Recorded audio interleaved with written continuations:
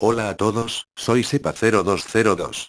En este vídeo, os explicaré por qué el suizo, Roger Federer, rompió su raqueta tras perder un punto contra el serbio, Novak Djokovic. Aquí os dejo el vídeo, y mientras os explico. El suizo tuvo 47 errores no forzados. Estaba ya desesperado. También cometió unas cuantas dobles faltas.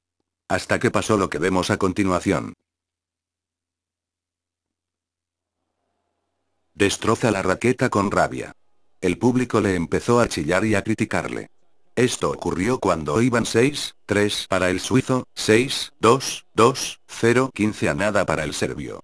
Y la parte buena de romper la raqueta fue que se quitó todo el estrés que tenía dentro y empezó a ganar algunos juegos. Pero ya era tarde, el serbio le ganó el partido por 6, 3 para el suizo, y 6, 2, 6, 3 para el serbio. Bueno, esto es todo amigos. Un saludo a todos, en especial a Reudos y a Gus Wolf.